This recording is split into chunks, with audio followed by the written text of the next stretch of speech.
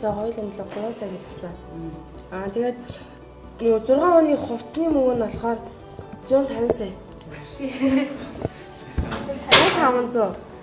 Аа тэгээд хичээлийн хэрэгсэл болохоор 400 мянга гэсэн хоёр дөрөв хүүхдийн хэлээд аа хоёр оюутны хэрэгслийн мөнгө болохоор 1 сая. Аа тэгээд хоол үдэндээ бас 1 сая. За 1 сая. За орлого зарлага хоёрын тэнцэл нь хэр байсан? Орлого нь илүү, заалга нь жоохон. Хэр хэмжээгээр илүү? Би тооцсон. Тооцсон гэж. Манайх заалга нь болохоор 8 сая 600 төгрөг гарсан. Орлого нь болохоор 13 сая 200 баг. Тийм учраас орлого яг орлого орлого нь бол ингээд 5 сая гал. 4 сая гал. 4 сая. Аха. Тэгээ ягаад гэвэл энэ бол мэдээж хөдөө орон нутгтай бол мэдээж дээгүүр дээгүүр албан тушаалтай айлын тэгээ мөн аж хувийн аж ахуй хэрэглэдэг учраас мэдээж орлого сайтай учраас иймэрхүү гарч байгаа. Тэгэхээр энэ айл бол мэдээж нэлийн даваа байл гэсэн үг л тий. Манай багт болохоор аав нь ажилгүй, ээж нь эрүүгийн цагдаа, хоёр хүүхэд нь барилгын компани төр ажиллаж, хоёр хүүхэд нь ерөнхий боловсролын сургууль сурдаг. Энэ эднийх эдний болохоор хотод амьдардаг. Тэгээд энэ айлын өрхийн төсвийн орлого зарлагын цаазаар ярилцлага гаргаарай гэсэн байгаа. Аа тэгээд аав нь ажил хийдэг юм чи мэдээж хэрэг орлогогүй. Аа тэгээд ээж нь болохоор Юу бид нар багаараа ярьцаад ээжийнхэн цалинг 400 гэж тооцоолсон байгаа. Аа тэгээд хоёр хүүхэд нь барилгын компанид төр ажилласан гэхээр нөгөө төр ажилчин болохоор нөгөө 15 хоногт 15 хоногт 15 хоногт ажиллаа гэж бодоход өдрийн 25 сая төгрөг гэж тооцоолсон. Тэгээд хоёр хүүхэд нь ерөнхий боловсролын сургууль сардаг хэмжээнд юу орлогогүй. Тийм тэгээд ёо эдний болохоор зарлага нь илүү их байгаа. Ямар ямар зарлага ордог вэ гэхээр юу өдрийн унааны мөнгө, хоолны мөнгө, төлөө мат нүүрс гэд юу тиймэрхүү зарлага нь илүү. Зарлага зарлага нь илүү болсон. За сурчих. За сайн. За танаа үгүй. За уул нь бол ингээд өөрсдөө тооцоолж гаргаж байгаа учраас бид хэд рүү ярьсан шүү дээ. Ашигтаал төсөв баймаар юм гэх тийм үү. А тэгвэл зарлага илүү л гараад байвал одоо та хэдийн тооцоол бас сайн үр ашиггүй зардал байна уу гэдгийг хянж үзэх шаардлага тийм. За.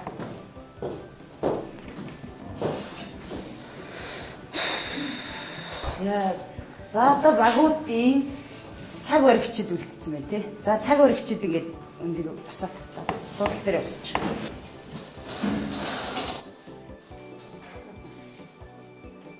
За цаг баригчид энэ бэлгэцэн дээр байгаа энэ өрхийн төсвийн юу юунаас бүрддэг гэсэн бэлээ бид нар түрүү. Орлого зарлага хоёроос.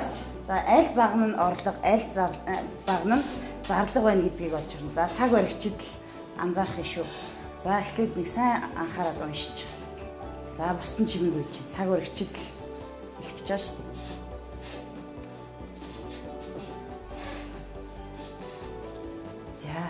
За нэгдүгээр багийн цаг баригч. Цалин хөлс үйлчилгээ, хувийн аж ахуй орлого, хүнс зээл. За энэ орлого явуулсан тий. За энэ зарлага юм байна. Хоёрдугаар баг аль нь орлого вэ? Орлого нь болохоор цалин хөлс юм лөө. За энэ орлого. Ааха. Ааха. За гуравдугаар багаас. Зээл. Юу вэ? Цалин хөлсөн зэр зээлийнх. Орлого. За энэ хоёр багны чи алийг нь орлого алийг нь зарлах гэж харсан бэ? Эдлийнх нь болохоор цалин Зарлах. Зарлах. За. энэ нь болохоор юу? Орлого. За. За гэж харсан. За дөрөвдүгээр санал нэг өөр. Эхнийх нь зарлага, хоёр дахь нь орлого. За энэ зарлах гэж харсан. За энэ Эхнийх нь зарлага, хоёр дахь нь орлого.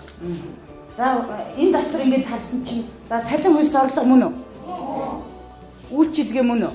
Одоо янз бүрийн үйлчилгээ авах гаднаас энэ орлого мөн үү?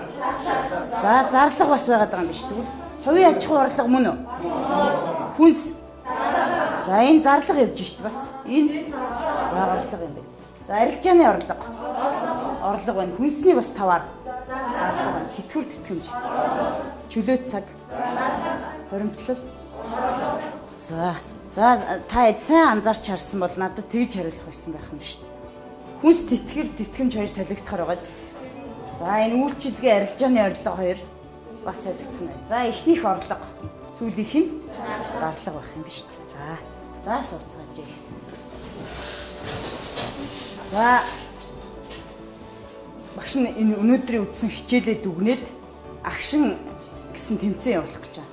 За аль баг хамгийн их гараа өргөж олон хүн ха- хариулах нь гэдгийг анзаарч харах нь шүү дээ. За маш анхааралтай сонсно. Гараад өргөн зэрэг зэрэг хэлэхгүй те. За тэрийг сайн анзаараарай. Төсөв гэж юу нь юу вэ?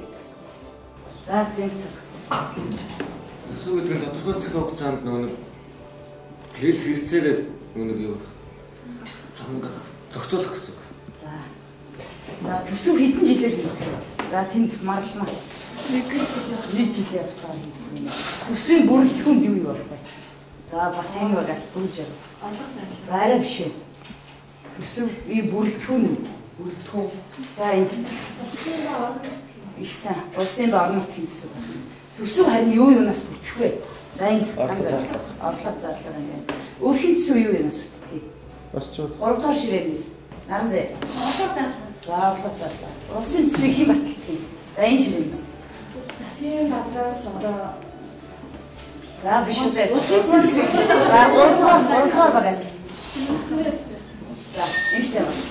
улсын хөв. За улсын хурдан. Улсын төсвийг хэн бүрдүүл зарцуулдаг юм? За дөрөв дөрөв бас. Засгийн газар. Засгийн газар. За. Орон нутгийн төсвийг хэн батлах вэ? За нэг дөрөв байна. За их сайн. Орон нутгийн төсвийг хэн бүрдүүлдэг юм? Хойно. За. Өрхийн төсвийн орлогыг бүрдүүлэгч гол зүйл юу бэ? 3 дугаар бас. Салин. Их сайн. За алдагдaltaа төсөв гэж юу вэ? За ингээ 2 дугаар 2 дугаар гэсэн. 2 дугаар орлого жаргал. За. Ашигтай төсөн гэдэг нь болохоор орлого залгаа залгаа нь болохоор нэг илүү давхгүй. А тэнцээ. За. Орлого нэгдэг байх шүү дээ. За дөрөвдүгээр бол хариулсан шүү. За өнөөдрийн хичээлийн хамгийн сонирхолтой хэсэг нь юу байсан бэ? Хин. За нэгдүгээр бас. Хамгийн сүүлд нөгөө жишээнээр тайлбарлаад нөгөө орлого зарлах тоо. Аа орлого зарлах тооцоо. За хоёрдугаар бас нэг нь хариулчих. Өнөөдрийн хичээлийн хамгийн сонирхолтой хэсэг нь юу байсан бэ? Өрхийн төсвийн орлого зарлах. Тооцоо. За гуравдугаар бас нэг нь. Хамгийн сонирхолтой нь юу байсан? Нэг юу ашигтай ажлыг олох гэсэн. За дөрөвдүгээр